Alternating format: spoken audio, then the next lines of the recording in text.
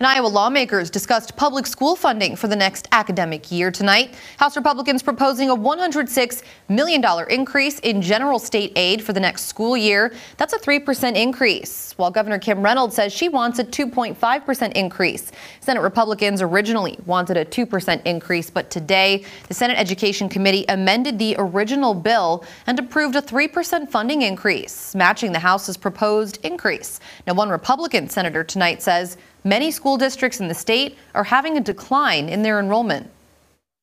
When you're declining enrollment, you also have less students to teach.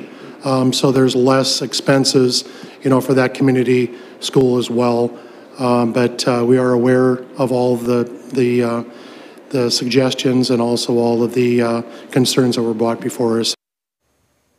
Senator Tim Kraayenbrink says that Republicans have been doing conservative budgeting in recent years.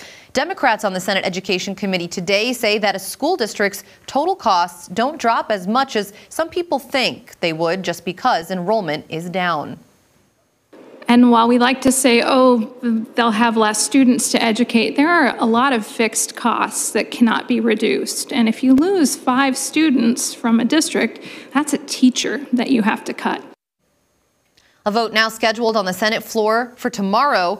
Last week, the Iowa State House passed Governor Kim Reynolds' Student First Act. That would give nearly $7,600 per year in educational savings accounts for their children to enroll in a private school if they'd like.